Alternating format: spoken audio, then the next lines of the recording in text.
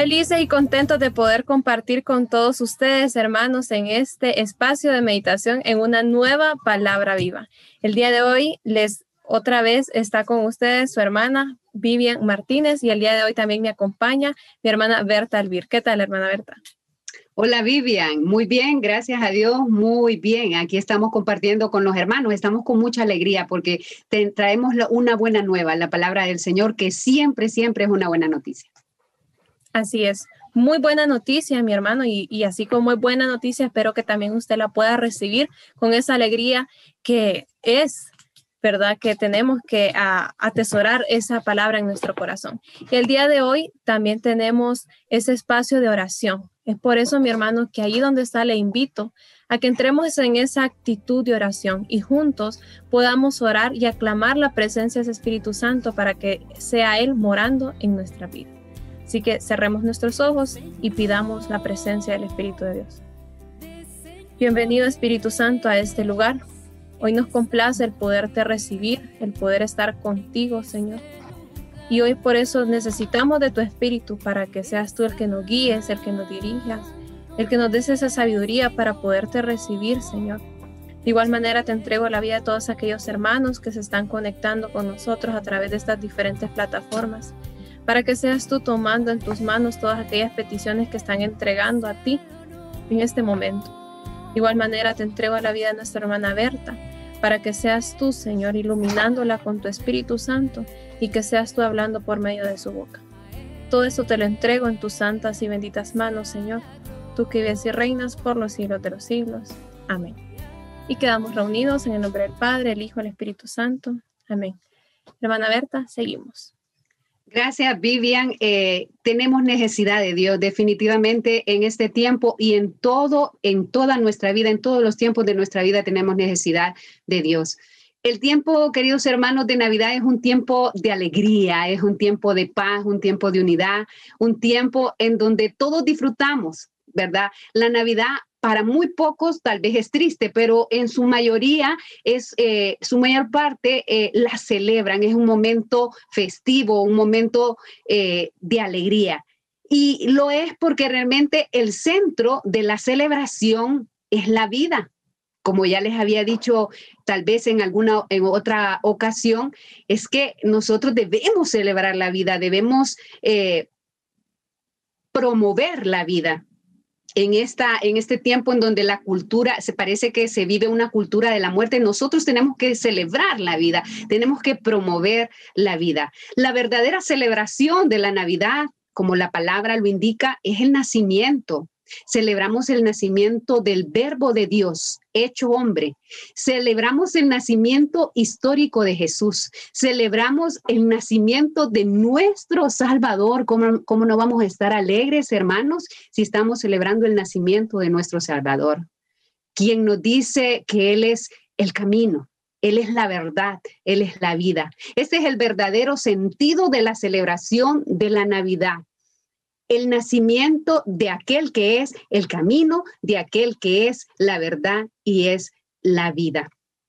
En estos tiempos de Navidad eh, parece que todo es alegría. Usted sale, ¿verdad? A, las calles, eh, sale tal vez eh, hacia, ¿qué le digo? El balcón de su casa, el patio de su casa, y usted va a ver que todo es alegría, que todo es gozo, va a escuchar, como dice aquella canción, música en las casas, en los barrios, y todo es un ambiente de alegría. Y quisiéramos que estos días no pasaran, porque este ambiente, este ambiente festivo nos agrada a todos este tiempo de unidad nos agrada, este tiempo en donde probablemente sea el único tiempo en donde las familias se reúnen, ¿verdad? Tal vez este año eh, ha sido un poco diferente, ¿verdad? Pero siempre ha habido unidad en familia. Y ese momento, estos momentos son agradables para todos y quisiéramos que se pudieran congelar o quisiéramos que siempre fueran así.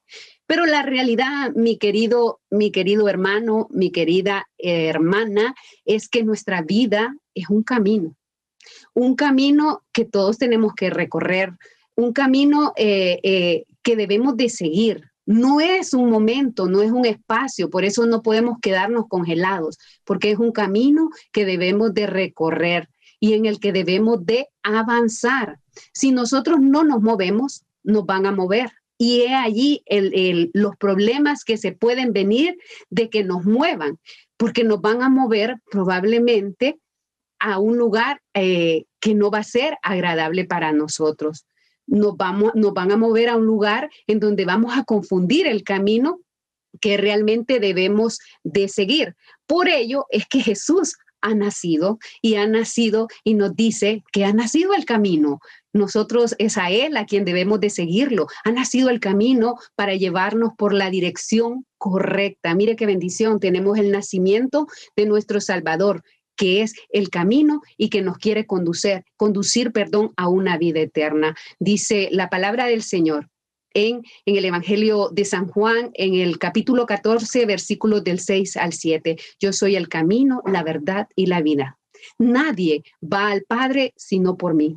Si me conocen a mí, también conocen al Padre pero ya lo conocen y lo han visto. Palabra del Señor, gloria a ti, Señor Jesús. Jesús ha nacido porque nos quiere mostrar el camino correcto que debemos de seguir el camino que nos da vida, el camino que nos lleva al Padre, el camino que nos salva. Jesucristo es el camino que ha nacido para guiarnos en este recorrido que es la vida, para que no nos confundamos, para que no confundamos en el, camino.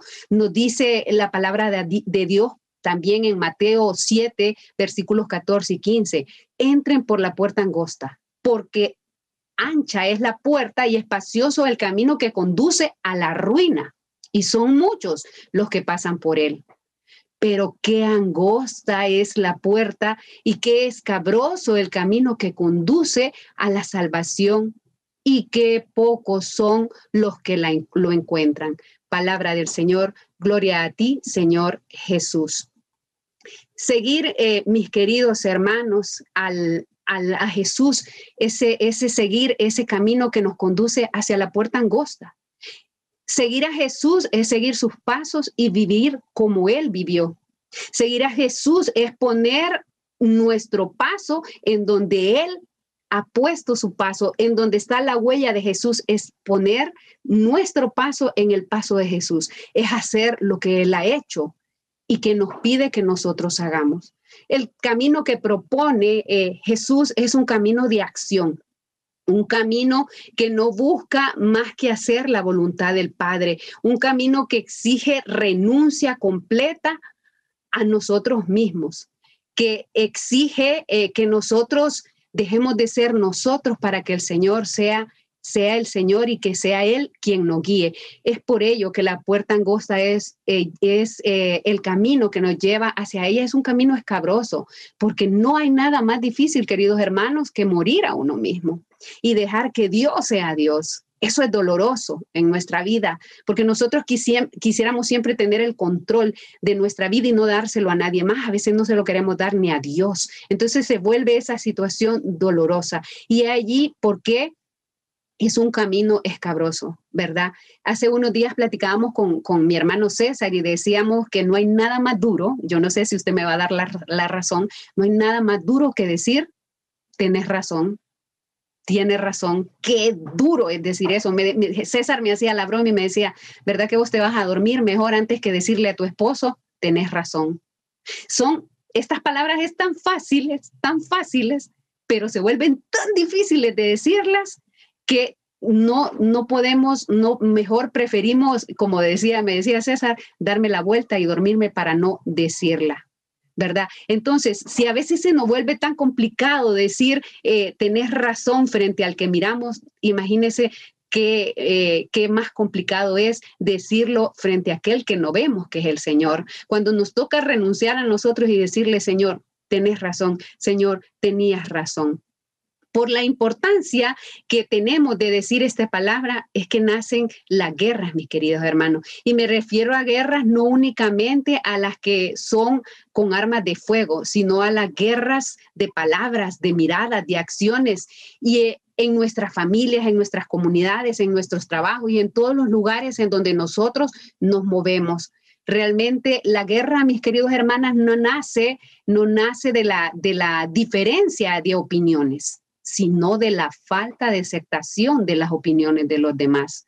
El camino de Jesús siempre nos va a llevar al amor, hermanos. Ahí está toda la ley del Señor en la ley del amor. Amor que no se queda en nosotros, sino que va hacia los demás. Este camino es la ley del amor, es un camino de comprensión, es un camino de aceptación, es un camino de justicia, es un camino de paz, un camino de comprensión queridos hermanos, que en esta, que en esta Navidad nuestra celebración eh, se haya sido y siga siendo verdaderamente el nacimiento de aquel que es el camino, que es la verdad y la vida.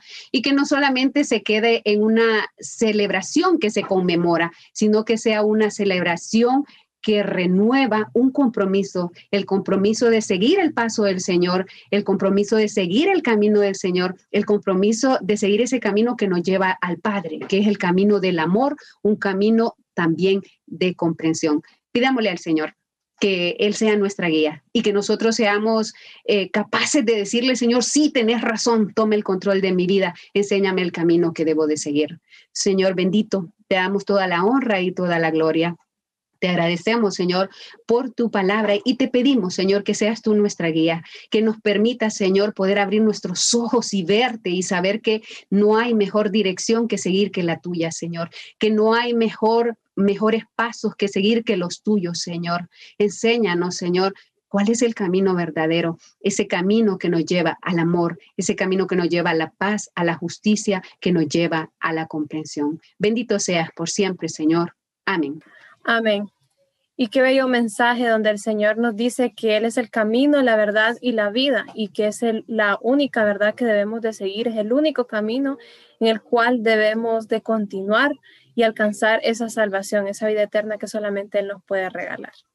Así que mi hermano, emprendamos este camino de salvación sabiendo de que la única guía es nuestro Señor Jesús.